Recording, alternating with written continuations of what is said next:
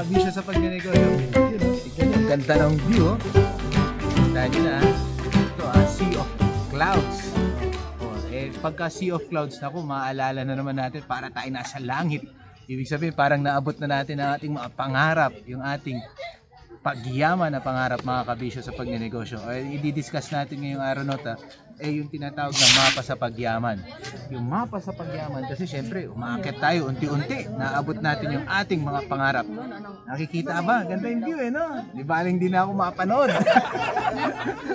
kasi nakikita yung view. O mapa sa pagyaman kasi mga kabisyo, wala naman talagang sikreto sa totoo lang kung paano tayo yayaman mga kabisyo. Ang ibig sabihin, yung steps ng pagyaman, nandoon na, nakadefine na yun. Tayo na lang ang talagang magsusumikap o makaka-realize. Huwag na huwag kang magugulat na kailangan mo pala talagang maging successful sa buhay na to.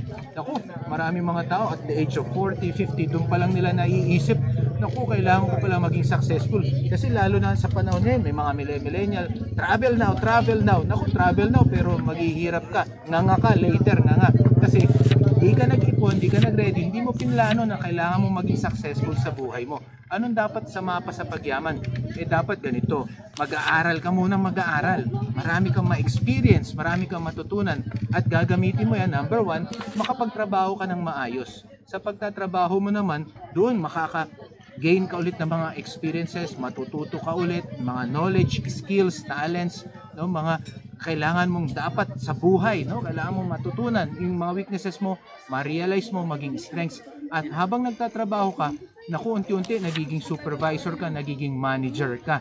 Pag nagiging manager ka na, natututo ka nang humarap sa mga tao, mag-handle ng mga tao, ng mga staff mo. At unti-unti, naging manager ka na, medyo lumalaki na ang kinikita mo. Pag lumalaki ang kita mo na, yan ang susi ulit sa pagyaman. Bakit? Kasi kinakailangan magkaroon ka ng savings.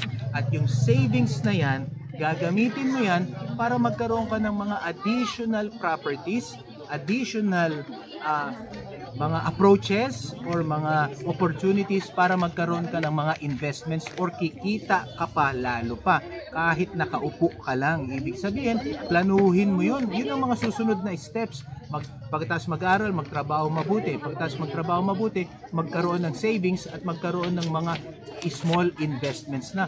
Papasukin mo na yon dahil yung mga investments na yan, diyan ka magkakaroon ng mga additional revenue pa. O ano susunod? Ay, yung mga investments na yan, pag-aaralan mo yan. Kasi may savings ka na. Kunyari, bumili ka ng sasakyan, na yung sasakyan hindi luho yung sasakyan ay ginagamit mo sa pagnenegosyo. Yan mga investments.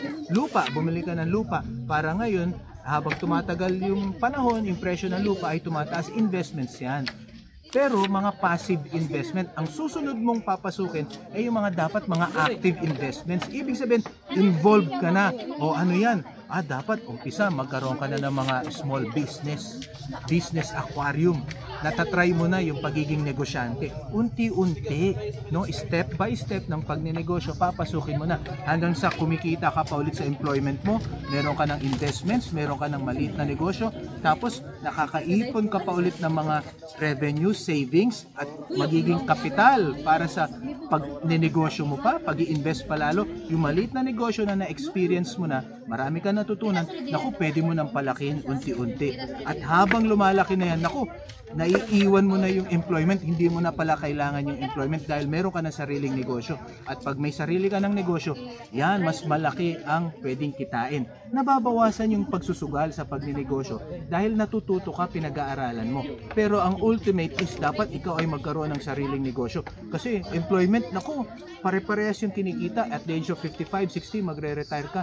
Nako, pagkatapos nun, wala ka nang kikitain kasi retired ka na.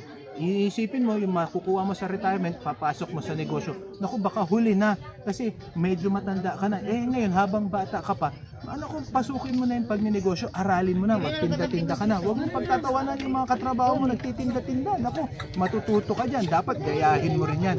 Kaya yan ang susi sa pagyaman. Unti-unti, may steps yan, may steps. Huwag mong bibiglay ng sarili mo. Huwag mo ring gugulatin ng sarili mo na kailangan mong maging successful. O sige mga kabisyo, i-enjoy ko muna to yung ating sunset. Naku, napakaganda. Ay, sunrise pa. Sunset. sunrise wala. Ako, nalilito na ako. Ang ganda kasi, no? Eh, namimiss ko yung opportunity. O sige, God bless mga kabisyo sa pagnenegosyo. Bye-bye!